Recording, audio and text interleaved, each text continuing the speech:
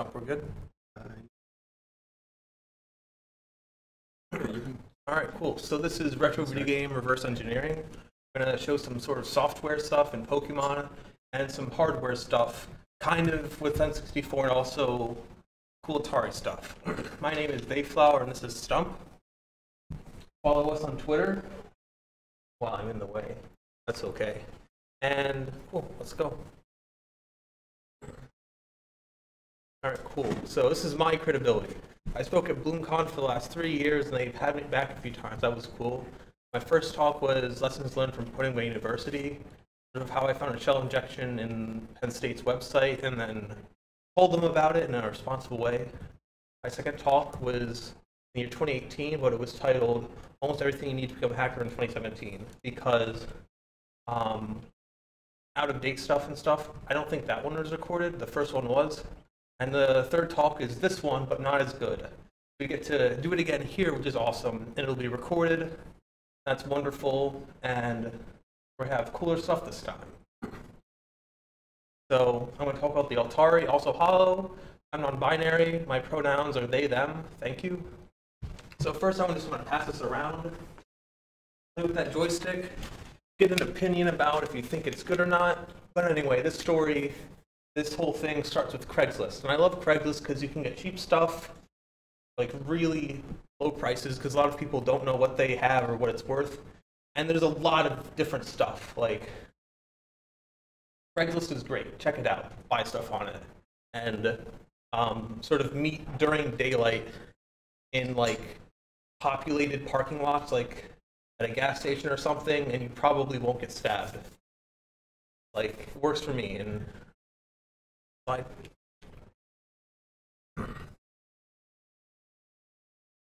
All right, so I bought my Atari from some dude on Craigslist, and really I thought the joystick sucks. Like, it feels terrible, like moving it up and down. I don't know if anyone in the audience like agrees with me after they sort of try to jiggle it around a bit. It sucks, and uh, sort of a hacker mantra is like, I want something better, I will make something better. So can I have everyone say that with me? I want something better. I will make something better. Awesome. At BloomCon, like one person said that, so this is great. All right, so you also, you're legally required to have a Sun Tzu quote in your slides if you're giving a presentation at a cybersecurity conference, but it's not enforced, so it doesn't matter. But I want to know sort of what's going on with the Atari joysticks, I want to make something better. So over here is a screenshot from Wikipedia that I sort of cropped because the whole image was too big. And it shows the pin out of the Atari. We have our pins and they do stuff. And basically, what I did is I just kind of connected some wires to the pins and touched them to each other, sort of figure out what was going on, which in hindsight was probably a bad idea, but I'm not an electrical engineer, so I wasn't too afraid of the electricity. And I thought, yeah, it's low voltage, I won't die, and I didn't die. I figured out that basically if I connect any of the pins, like one, two, three, four, five for the buttons, so these here are the digital buttons on the Atari. If I connect that to ground, the Atari thinks that I'm pressing the button because on the next slide we have a very good diagram that I drew in GIMP like six months ago.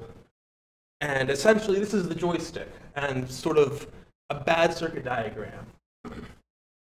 I don't know which way is ground, and for our purposes, it really doesn't matter.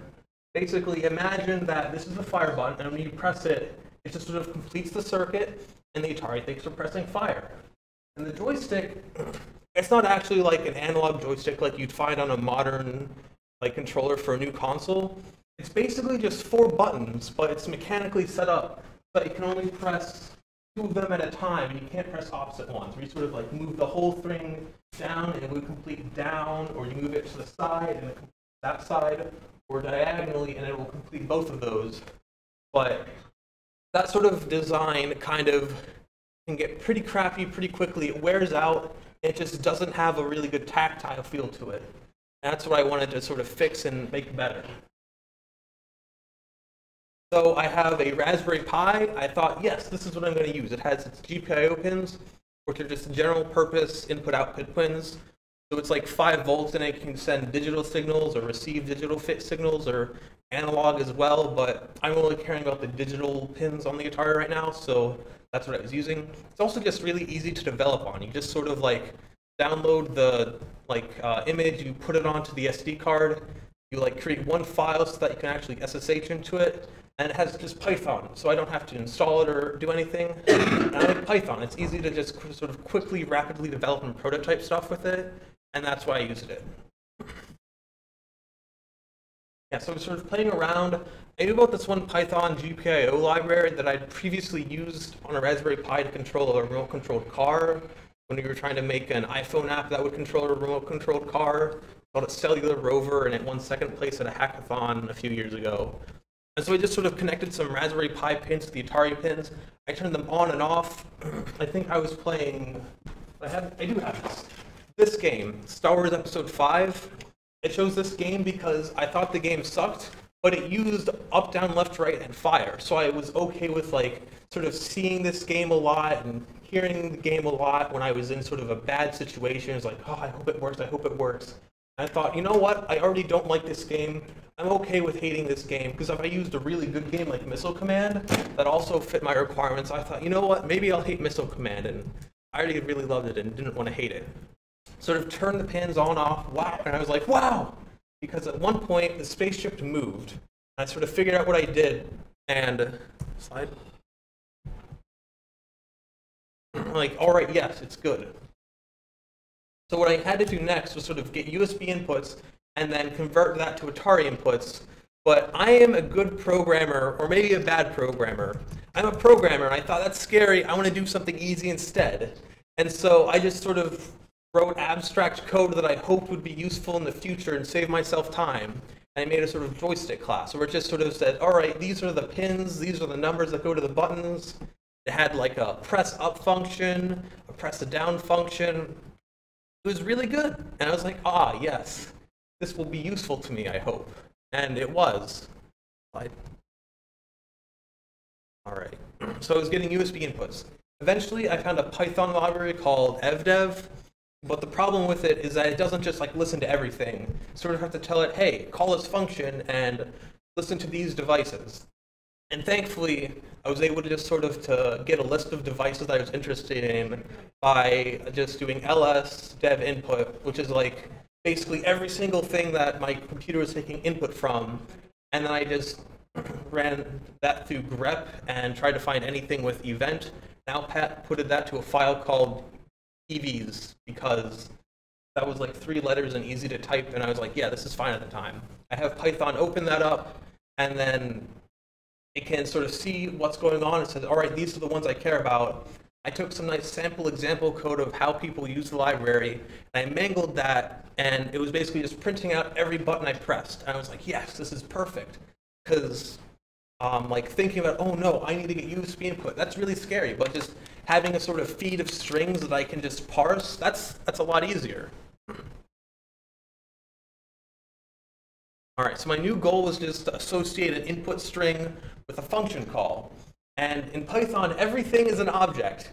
So basically what I did is I had a dictionary where the keys were the input strings that I wanted. So I would say, all right, so I'm going to bind a key, I'm going to bind a key, I'm going to bind a key to like a different input. So the way the code works is actually, is, where's a good controller? So I have my controller and I just press sort of the buttons I want them to be in a certain order, and then it'll say, all right, cool, this input string is just going to be the key in the dictionary, and the contents of the dictionary are going to be the function. And I just sort of like call functions, and it's really cool. And my code's on GitHub, and I think it's mentioned in a later slide. But not this one. Basically, first it goes through binding mode. Every single new input from the controllers is sort of bound to a joystick function. I ignore analog input because that turns out to be a huge pain in the butt to deal with. And I don't want to like, I tried writing code to sort of simplify it, but it just didn't work. And I was like, all right, I'm just going to ignore analog input. But basically after 10 unique inputs, because we have player one and player two in the Atari, is going to have everything bound and it's going to go into play mode where we actually get to play the games. And making a good note to myself up here, left, right, down, fire up. That's the order I have to press buttons in to make it work how I want. I don't know why, it just is that way and I don't want to change it because it works. So now I think it's time for a live demo of this. So uh, let's plug in.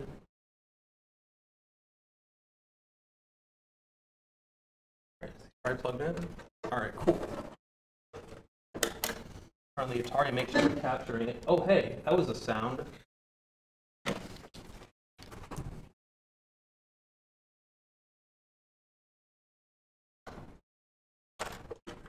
Is my Atari even plugged in? Oh my god. Make sure the Atari's plugged in before you do your demo.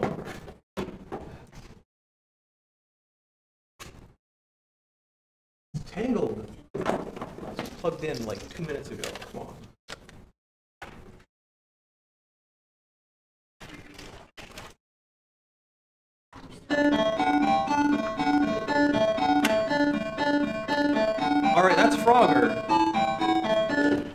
Um, so now.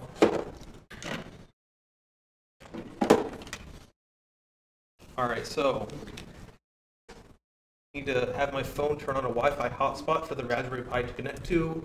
Then I'm going to SSH into it and have it do stuff, and hopefully it does what I want.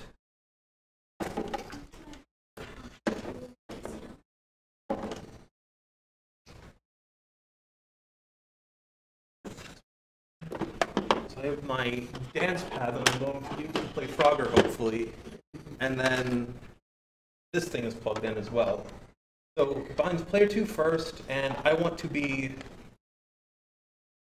Yeah.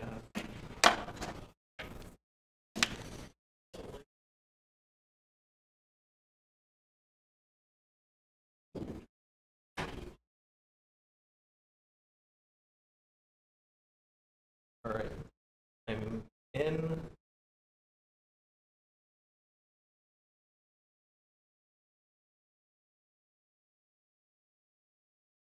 All right, cool. It should be running now. So I'm going to press down, left, right, fire up on this controller, and that's fire, and this is up. And hopefully?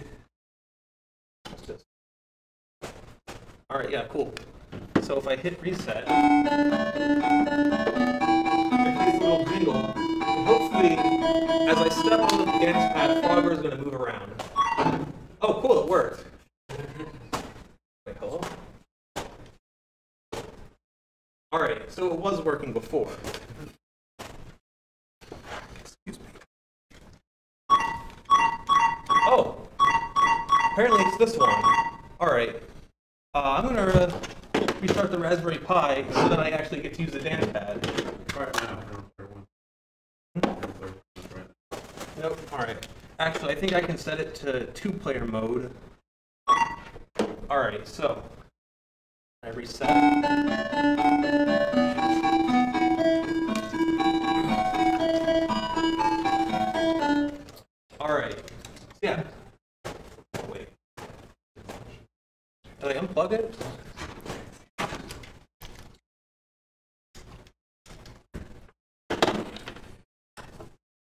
Going to turn it off and back on.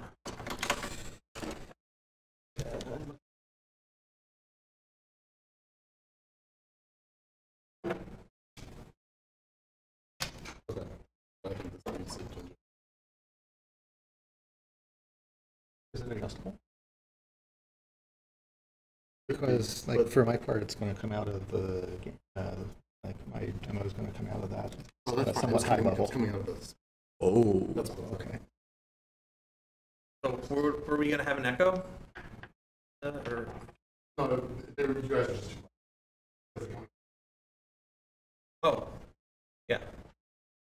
All right.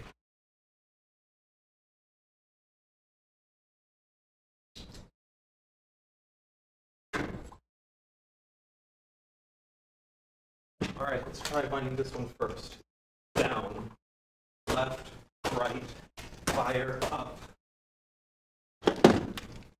Left, right, fire up. Turn on Frogger. Hit reset.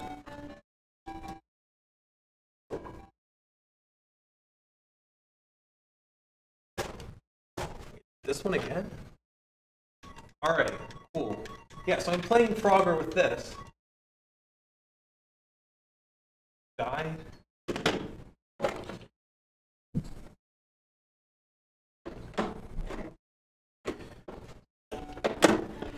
Alright, so now it should be maybe in two-player mode. If I die on this, I can play on this. Alright, so. Die. Yeah, here we go.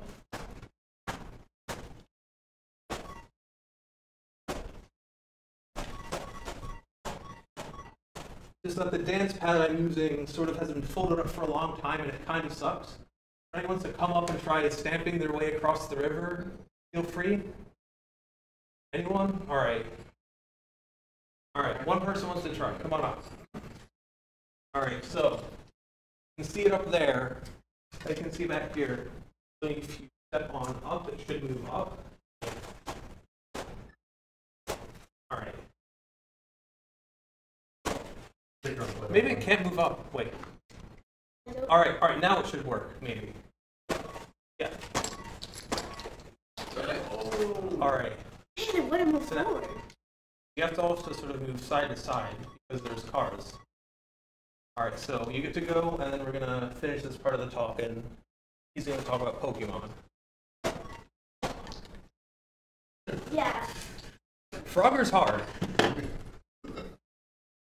It's I cool. didn't think we were getting Yeah, so-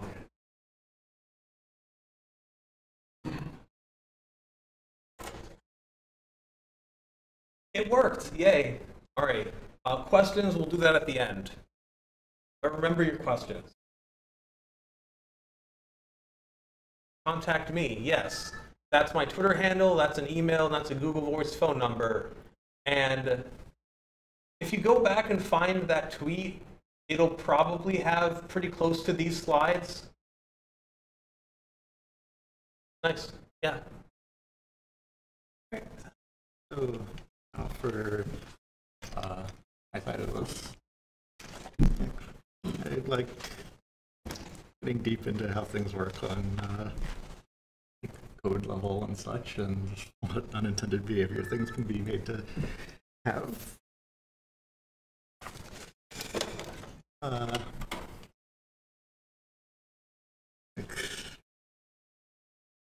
uh, so I quite a while ago, I did a uh, like bootloader in the in a Windows device driver, and less long ago, I uh, made I put together uh, this device here, which uh, here's an Arduino, and it's uh, connected to a cutoff N64 controller cable, and it this is set up to bitbang the controller protocol so that I can make interesting things happen with the uh, uh, out of the uh, expansion slot of it, namely uh, reading and writing save files from cartridges plugged into a transfer pack, which we will be uh, seeing in a bit. But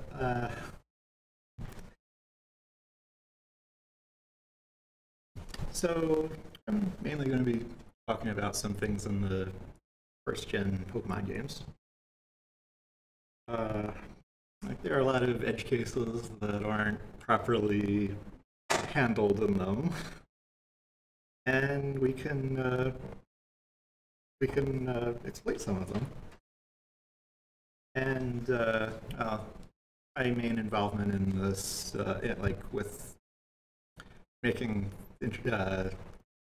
interesting things happen here is to uh, like is to speedrun the games and help uh, improve the routes of them. So that's the main angle that I'm uh, coming at it with. But uh, that's just something to finding ways to do it faster is a uh, something to exploit the game for. So there was a large the way that the popularity the games had, and uh, people were stumbling upon things. And sharing stories about them and something, uh, this often resulted in uh, untrue legends, but also but also in things that have something uh, that look like that don't look that useful but have something a little bit deeper going on. So uh, like at the on the uh, east on the passage out of Pewter City to the east, if you haven't beaten Brock yet, there's an NPC that will forcibly talk to you and walk you over there. And if you skip him, which you can do by saving and reloading at a particular spot, and you talk to him from the right, uh, the game tries to load the movement data that you're to follow, but uh, according to the coordinate that you talk to him from, but there isn't one set for that. So the game appears to be completely soft locked and not doing anything. But there's still that loop going on that March uh, that isn't looking for any uh, form of terminator in the table because that's not supposed to happen. So it continues marching through the entire address space. And uh, for something uh, for a matching entry in that table. So that also includes RAM, we have uh, like where we have our own data. So I can bypass this through that save and reload I mentioned. Or speed up.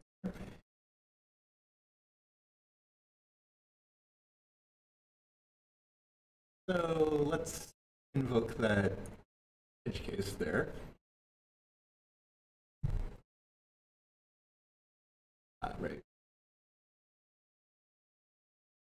Here there. I'll uh, scroll to what we've got there. Nice thing about 16-bit address spaces, you can just scroll right through them. Where's 70?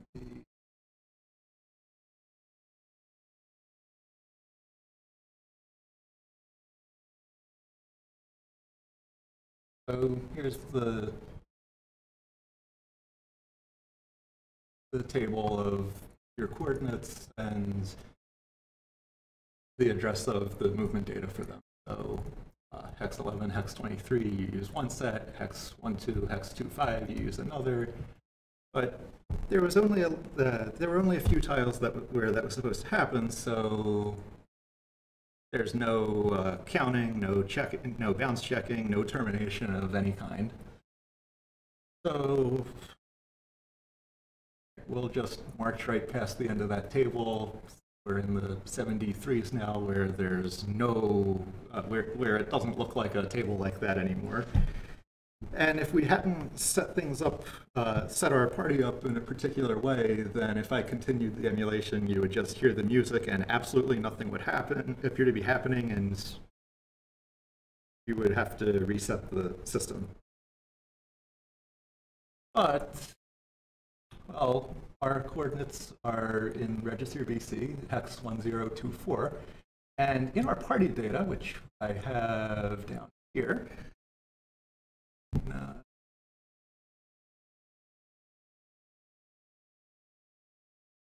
Oh, there's our coordinates. And so soon we'll find them. Okay. Yeah, this oops, uh, those additional jumps are for when it did not match.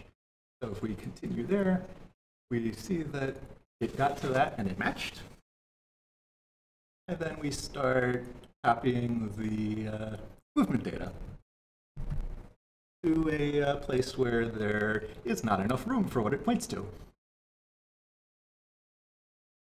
And here's uh, like the buffers around here in the CD. So if I then continue, you'll see a, a whole bunch of uh, random data land in the memory that's showing. And we, so normally this is in uh, cutscenes, so you can't control the character, but one of the variables that gets corrupted in this gives you control, and also lets, uh, and a different part of what's going on lets you walk without regard to collision. So, yeah, that's like turning what was thought to be a soft lock into something more. But that's an example of uh, like things that the code assumes can't happen that uh, you can uh, get something uh, useful to happen if you do make it happen. Oh.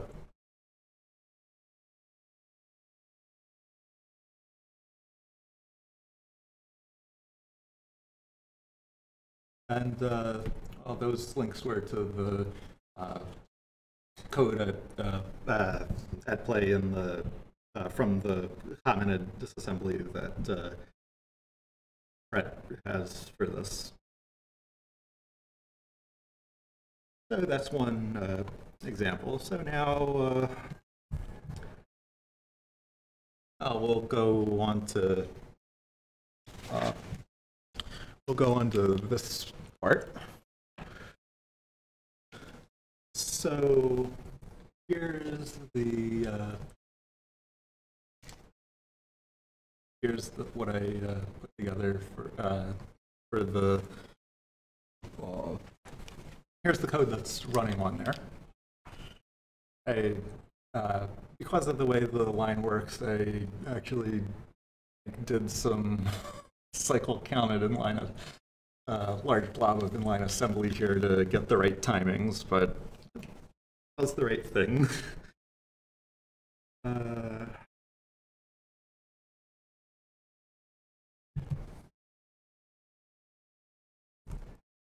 And I've got a Python script to drive it to send the right things over the serial over USB interface to make it write something to the cartridge.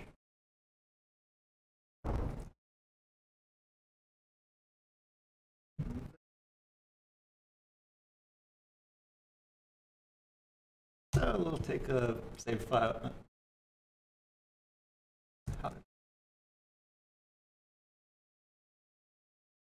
Ah, I didn't spell cartridge.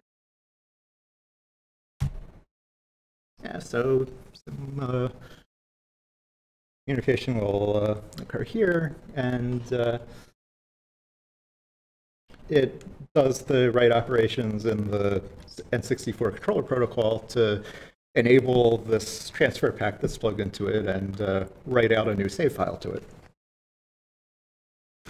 So I just put on this cartridge the save file from the, uh, well, first playthrough of uh, Twitch Plays Pokemon. So, and I uh, have a Game Boy uh, player in this GameCube here so, so that you can see that this act, that like this really is what's on there. But uh,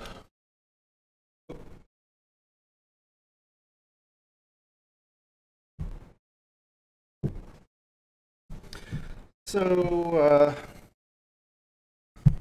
uh, the official software for uh, using that thing is like has some shortcomings. So uh, like some better software has been made for it uh, called Game Boy Interface. But well, that's not gonna uh, not something that you can uh, like, uh, directly load through official uh, channels. So in for systems like the GameCube, which is which are like past uh, the older cartridge uh, era where you would run custom code by being the cartridge, uh, like just uh, like through a flash card or something, and not uh, but not new enough to like have uh, have ways to interface with things that general purpose computers can also interface with. And if you don't want to modify the console, you're left with uh, with uh, loading it through uh, by exploiting an official game for it. So uh, for that, uh, the community has developed a whole bunch of uh, different packaged uh, save files to put onto your memory cards uh, that you can uh, that use different exploits in different games that you're likely to have at least one of, and uh, load uh, and boot some payload that is in uh, packaged in a different file. So, oh, I got it. Oh, yeah.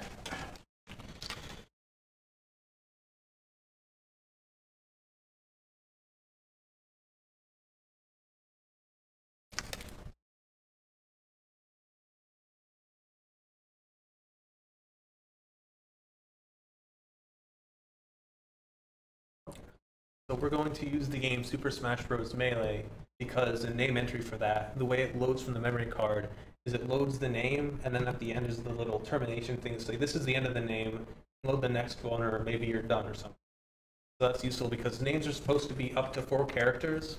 But if you have a name that's like a thousand characters long, it'll just keep loading new characters from the name and putting them into memory, even if like that memory should be something else. We'll just write over stuff, and we can use that to sort of get arbitrary code execution. And this lets us boot into the Game Boy player. Yep, so we booted that from uh, the memory card that's plugged in here, and we got it onto there by using, uh, by using uh, some Stuff on a Wii. uh, Wii homebrew. The Wii is a useful bridge to this because it supports both GameCube memory cards and SD cards. And so, so you can put what you want onto the SD card can through whatever ordinary exploit a means. Wii and get a special channel that lets you just transfer stuff indiscriminately between your SD cards and GameCube memory cards, and then we play Pokemon. Yeah, and if we load the save file here, you can see that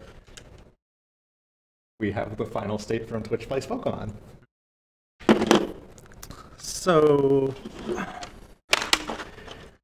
I've got another, uh, I had a different file to also load onto this, and that's a consequence of, uh, so th- for, uh, like, for a lot of Game Boy games, the save file is just directly mapped into the address space and is generally directly copied to and from some part of it.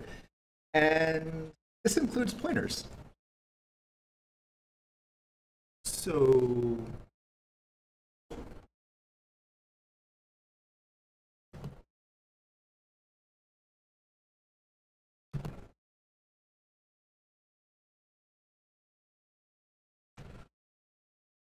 So I have a, uh, so I also have a copy here of the uh, payload that was used at the end of the uh, of Shanigan's Glitch exhibition at Awesome Games Done Quick 2016. Is that writing it out? Yes, it is. And yep, so that goes through. Uh, so that has been modified to have some of those uh, like pointers moved into uh, into the save file, and uh, well, uh, Lucky Typhlosion, who made it, uh, has a really nice uh, right above it that uh, is linked here. But uh, that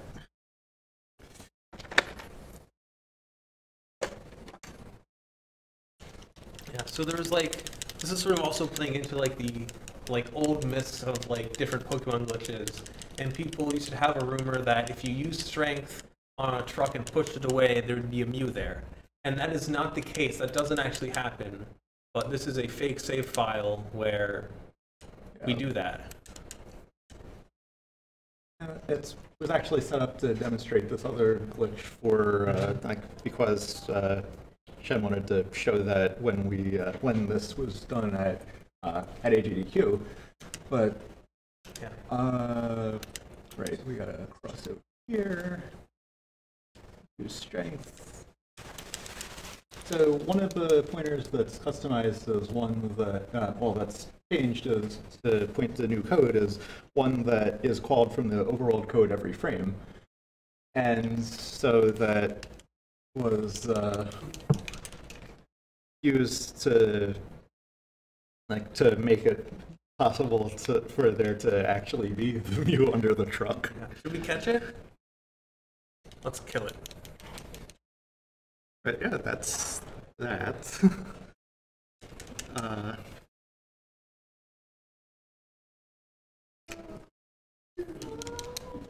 Yeah! Yeah, uh, that part actually happened because when I was modifying the party to like look like what someone might have had back then, I didn't do the I didn't change the experience in addition to the level, so just- that happened. But well, it went over well with uh, Yeah. there. We just sort of had a Blastoise that was level 40, it said, but it had enough XP to be like level 100 already. It just got a little bit more and bumped up.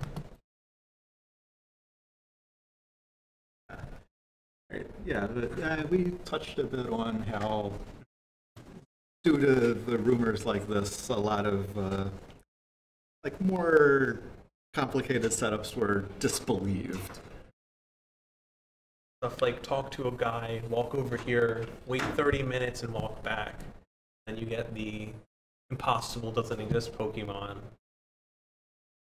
Yeah, this uh, caused the uh, Trainerfly or Mew, uh, so-called Mew glitch, to not even be believed by a lot of people for the first few months after uh, that was first posted. And like, if we took one of our routes and somehow sent it back to 2000s, no one would believe it. I think. No. People would see, oh no, you can't have your items like that and stuff, but Yeah. And there are some other cases in the games where uh, where something is not right about what the game does, but a subtle way that causes it to not be noticed. Uh, like mismatches between uh, the subtile used to check whether you encounter something wild as opposed uh, and a different one being used to check whether it's a land or a water one which is what causes the uh, uh, which is what causes the uh, Cinnabar Coast surfing glitch to happen. where you sort of talk to the old man who gives you a catching tutorial, it displays a cutscene where it displays old man as your name, so it has to store your name somewhere. And they just sort of said, hey, let's store it in the sort of table of wild Pokemon that you can encounter. So, So then- specifically the table for land encounters. Yes, land encounters. And then off Cinnabar Coast, there's a few tiles where you can encounter wild Pokemon, but they're set as land tiles, I think.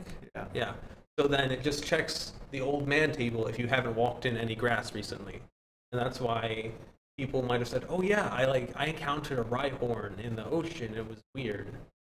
Because that's actually possible if you do it.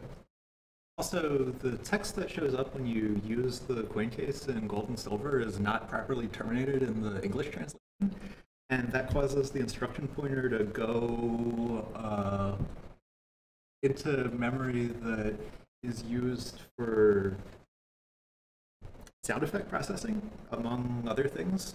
It so happens that in most cases it will very soon encounter a return instruction, so uh, nothing appears to happen in most cases, but if you've uh, had certain sequences of sound effects play recently, there can be an increment stack pointer instruction in there, which causes all sorts of fun things to happen. I think I remember hearing a rumor about if you like talked to a certain Pokemon and heard its cry did that, it would crash the game.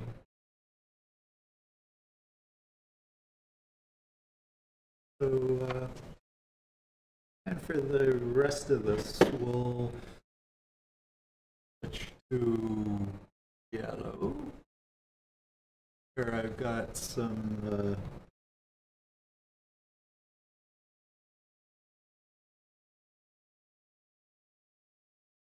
So, uh, one of the things that uh, yellow has that red and blue don't is uh, the Pikachu following you around the overworld.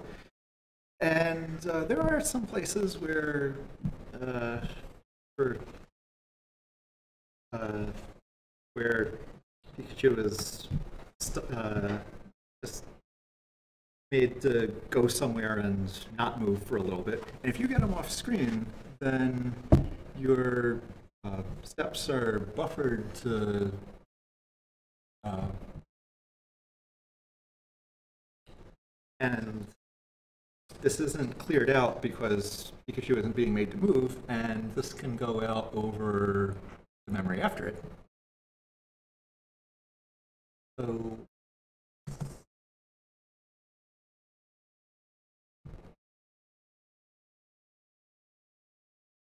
if we scroll down to that part of the space, here we are. Then if we step into this building, Pikachu spots that Clefairy and goes over to talk to it. And if we move around a bunch, you can see that uh, a bunch of ones and twos representing our, the directions of our steps got written out there, and uh, eventually we'll go over other variables and uh,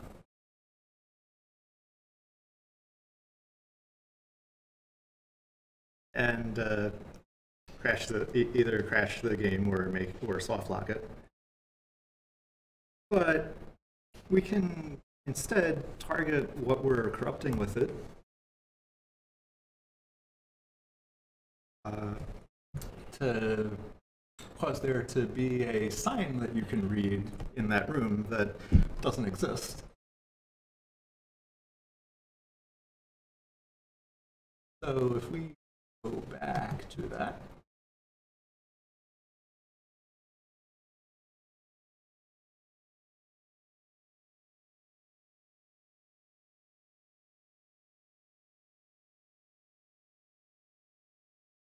Ah, yes. So there's, uh, this is the number of signs on the current map. That is, uh, there are seven different ones in Vermilion City. And if we walk inside, there are no signs inside here.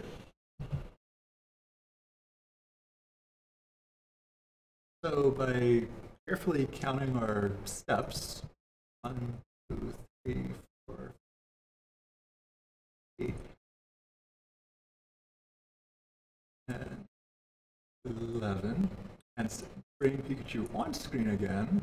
One, two, three, four, five, six, seven, eight, nine, 10.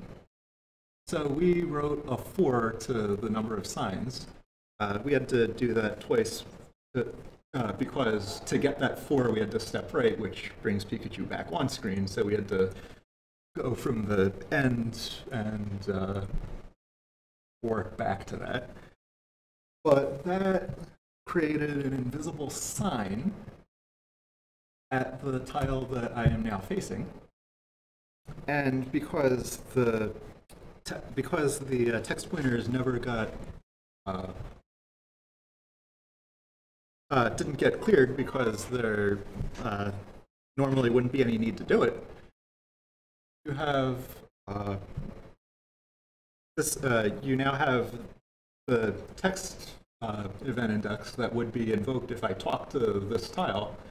Go past the end of the text table that's for this and uh, and do text instructions from RAM, which we have uh, which we've set up to contain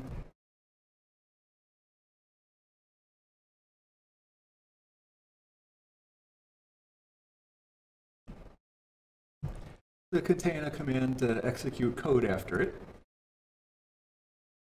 so if we do that, we will get to that, and we'll, I put a breakpoint there. I had to this, uh, this had to be put into uh, the uh, the stat experience field of our fifth, uh, the fifth Pokemon we have here. Uh, I had to, uh, there was a lot of, this involved finding a route through the part of the game that would give you the exact amount of stat experience you would need to get there to be that command to execute code, followed by a jump instruction, whose destination is also in RAM, which ended up being uh, the Pokedex flags. So you had to make sure you saw things that would not uh, cause there to be instructions there that would crash the game. You end up going into the item list. So you had to. So I had to construct code in that item list that would uh, get the uh, that would give you uh, uh, a stack of 255 of an item, and with a and then return to the game so you could con- uh, actually continue playing. I had to you had to do this within the in-game budget that you would have by that point, and uh, then you can use that to.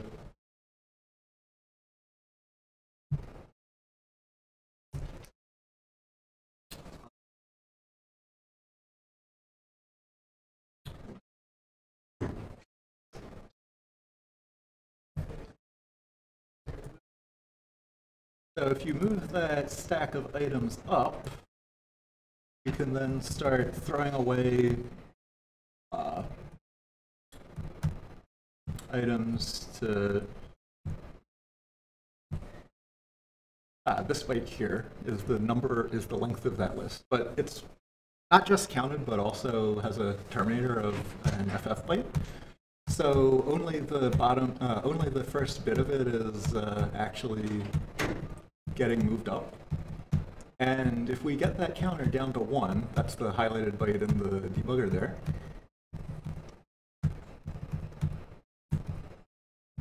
And we can then do a little sequence here that tricks the game into decrementing it when it's already zero by merging stacks of uh, the same item. And then you can use that to scroll out into the memory that's past it. And you can swap pairs of uh, bytes around. So essentially, in Pokemon Red, the inventory is only supposed to be so long, and we made the game think that it was much longer than that, so we can just sort of go down and do stuff. And it lets us, we're allowed to switch items in our inventory to sort of keep it organized if we want. And this lets us also switch around bytes because essentially there's a byte of what item it is, and then a byte of how many stuff is in the byte. Yeah, you can also decrease every other byte by tossing items as long as the game doesn't consider that to be a key item. Where six four, that is the one. Uh, so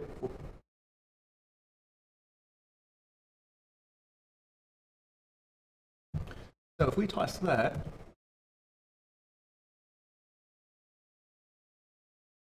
then we've rewritten the warp at the bottom of this to go directly to the Oh. Here. Uh, not here. that was uh, I didn't do that quite right, but that was going to go to the uh, like directly to the Hall of Fame and then the game, which was like just getting a setup for doing that as uh, as fast as possible was the reason why I did this. This route has been uh, significantly improved many times since then, but uh, for a while, something derived from it was the uh, uh, like for a few months of early 2015, uh, something like this was the route for the Pokemon Yellow uh, 90% no speed, no save corruption category. That was a thing. But uh, yeah, that's that's. Uh, oh, and uh, outs to the community, the uh, pret who made the the team that made the common assemblies, also to uh, TASBot who uh, that's that like that team uh, accomplishes all sorts of fun things by uh, feeding uh, frame by frame constructed input to different uh, games and systems. And